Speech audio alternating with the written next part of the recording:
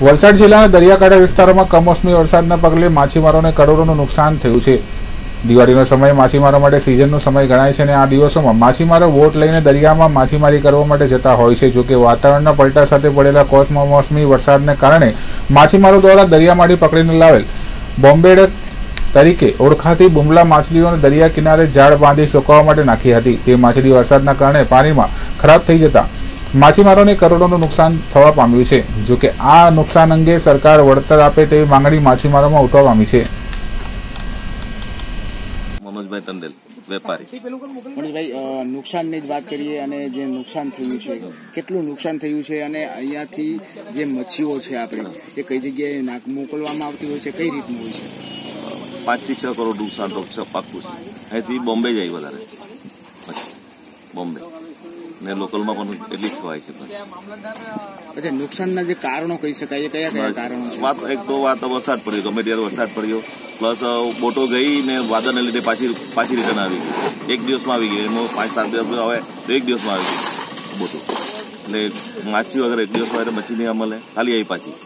Diesel પાણીનો બધો ખર્ચો એ લોકોને માથા પર પડે ખલાસીનો ખર્ચો બધો.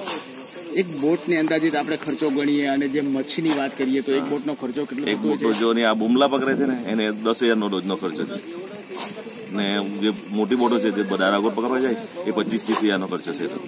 એ બધું જ લોસ ગયું હા લોસ ગયો એટલે બોટ ગઈ પાછી ખાલી આવી. એટલે પ્લસ તો બધ ડીઝલ પાણી જવાનું બરફ તો પકડી ગયો માણસનો પગાર તો આપવાનો જ.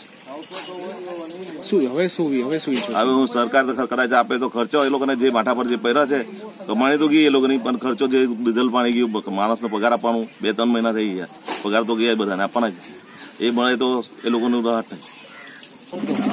હા મેં નારપુર બંદરનો રહેવાસી છું. મારું નામ મનીષ કંડેલ અને હું સેક્રેટરી મનીષભાઈ ખાસ કરીને હાલમાં જે અત્યારે વાત કરીએ મચ્છીની. તો દિવાળી ગઈ તે પછી જે સિઝન ખુલવી જોઈએ ત્યારે કમોસમી વરસાદ પડ્યો છે.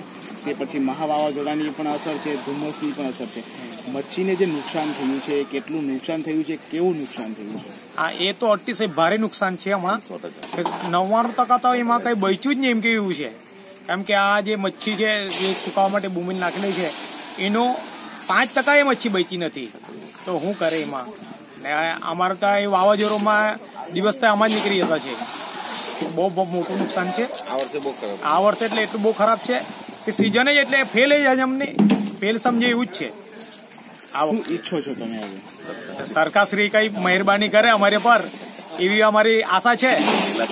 હા વધારું તો નહીં પણ જે આપણા જે અમારા દિલ્હીના ખર્ચા થતા હોય એ મળે એવું સરકારશ્રીને આભાર.